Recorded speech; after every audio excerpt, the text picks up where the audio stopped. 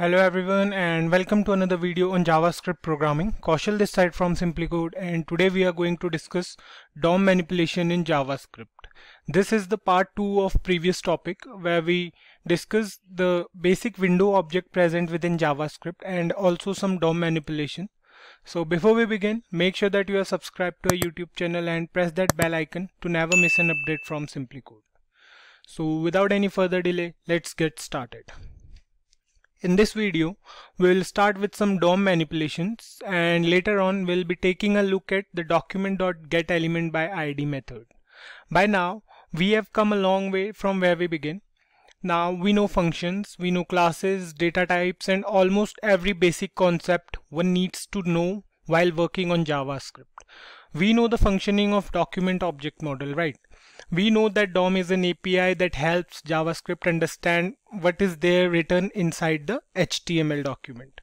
So DOM defines the whole HTML document in a hierarchical form to make it understandable for JavaScript so that other JavaScript functions can work over it, right? So by far we have a lot of theoretical information about the document object model in JavaScript. We also came across the window object present in JavaScript and we know about methods, right? But we never used JavaScript to manipulate DOM on any HTML documents. So today we are going to start the video with the DOM manipulation. So in this video, we are going to add some functionality to our web page. This means that today we are working on a little bit of HTML as well. So let's move on to the programming part and we'll see how we can manipulate a basic design of a web page and we'll try to manipulate it with DOM. So adding functionality to a web page refers to doing tasks like we want to perform validations or having few text boxes for a phone number or account number. So let's say we want only numbers to be there inside these boxes or we don't want them blank or any other functionality we want to add, then we can use JavaScript. So talking about HTML, let's do one thing here.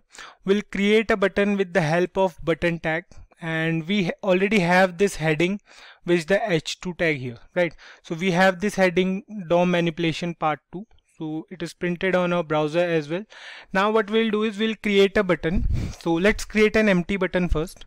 So what we have to do here is we have to write in this HTML document. We have to use the button tag. And let's say the button name will be click here. Fine. So here we are. We have created a button. Save it. And here you can see we have a button named click here. Now Talking about events, we have many events present in HTML. Like if we are clicking on this button, so this is an event. So if we click here for now, we can see nothing is happening over here. Similarly, we have many standard events present in HTML like click events, scrolling events. So if we want to change the focus from one text box to another or we are dragging some text or selecting something, or double clicking on it as well. What if we target these particular events to perform specific actions with the help of JavaScript? So these events are basically the methods present within the window object. Just like the onClick method we have, we have the onClick method in window object, right? So we can use onClick method to perform some specific task here. So we'll see how we can use on click method here. For example, let's say we want this button to perform a specific task when we click on it. Right now, if we click on this button, we can see nothing is happening over here. So let's say we want to show an alert message on clicking over this button. So the flow of this click will be like if we click here on this button then something in the JavaScript code has to register this activity and perform some specific task like a pop-up alert message or some sort of other messages. So we have been through the alert method present within the window object in the last video. So let's suppose we want a pop-up when the user clicks on this button.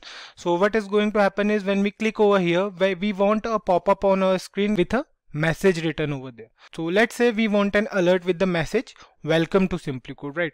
We can do it in JavaScript with the help of functions. We already know functions, right? So functions are statements we use to perform some specific task. We can call them anytime.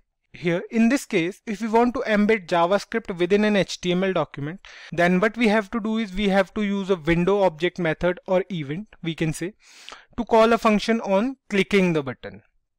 So we have to use the on click event. So let's try to do it.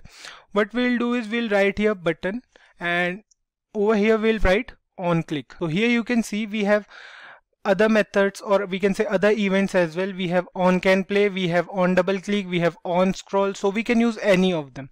So for now let's suppose we are using on click and we want to map it to the javascript document. So we can do it with the help of functions. So let's create a function first so what we'll do we'll go to the .js file and we'll create a function here so let's say we are creating a function named function let's say button and then we have the opening and closing round brackets and the body of the function. So we want this function to return a pop-up with the message welcome to SimpliCode, right? So we'll write here alert.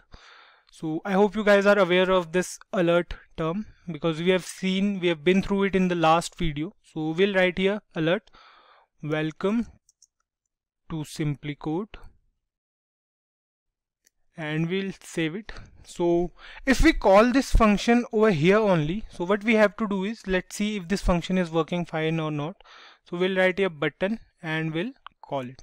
So save it now and if we refresh this so here you can see we have a pop-up with the message welcome to SimpliCode. So this function is working totally fine. We can use this function with the HTML document as well. All we have to do is we have to write the function name after the on click event. So we'll comment this statement here. And we'll go back to our HTML file and we'll write the name of a function here. So our function name was button and here we have our function so save it and here on the browser if we click on this button so we can see the output as a pop-up with the message welcome to SimpliCode. What it will do is it will automatically call the function when the user presses the button. So this is how we can map events in JavaScript.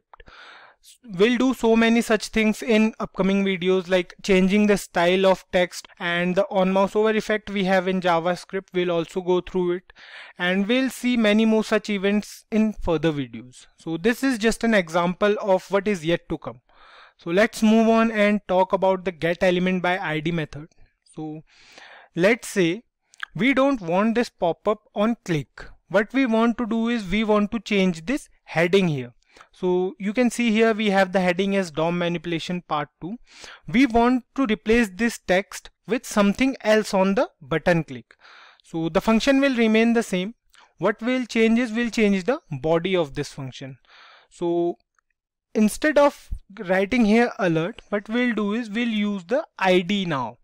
So what we'll do first is we'll provide id to this heading tag. So let's say this heading tag has the id named as heading so we have the id heading for this head h2 tag so what we'll do here is we'll write here document so as you guys know document is also a method present within the window object right so we'll write here document dot get element by id and we'll pass the ID we want to use. So here in this particular case, we want to use this ID heading. So we'll pass heading over here. So we'll copy it from here and we'll paste it here. Fine. Then we have the dot inner HTML property. So here in this case, we want to take a reference to the object h2. So we know h2 acts as an object in the document object model, right? So we can use it to take the reference of this object and also all the objects do have some properties, right? So the dot inner HTML here is the property of object h2 and it will hold the value written inside the h2 tag. So the dot inner HTML property holds the value DOM manipulation part 2 so what we want to do next is we want to change this text to something else right so if we want to write here something else so let's say we want to write here subscribe SimpliCode fine. So let's say this is the string we want to print here on clicking the button.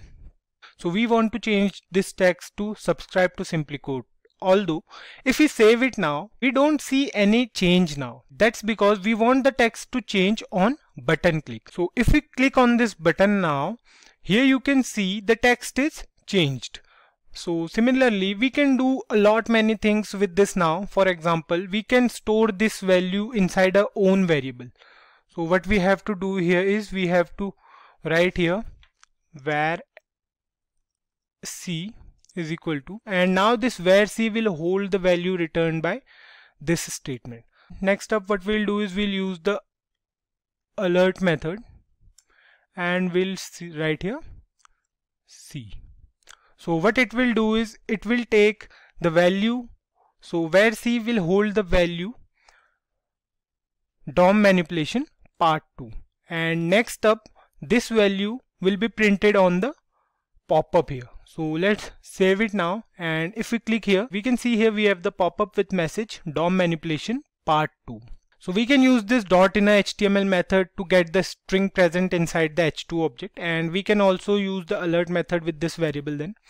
So there are many more ways to access the elements. The document.getElementById by id method is just one of them. We will go through other methods as well in the future videos. So that's all for this video guys. See you in the next one where we will go through DOM and website layout in JavaScript. So if you like this video, do give it a thumbs up. If you have any doubts, do let us know in the comments. Share it with your friends and don't forget to subscribe SimpliCode. Thank you.